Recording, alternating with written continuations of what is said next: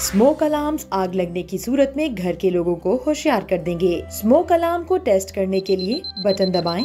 और बीप की आवाज सुने अपने स्मोक अलार्म को साफ करें स्मोक अलार्म में हमेशा बैटरी डाल कर रखें और हर साल बैटरी बदलें हर 10 साल बाद तमाम स्मोक अलार्म को बदलें